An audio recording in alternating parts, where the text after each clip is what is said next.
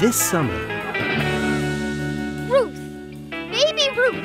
Baby Ruth! The Sandlot slides back into theaters July 22nd and 24th only for its 25th anniversary.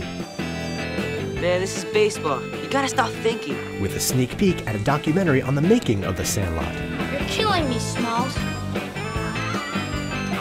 Get tickets at fathomevents.com. Available on Blu ray and digital.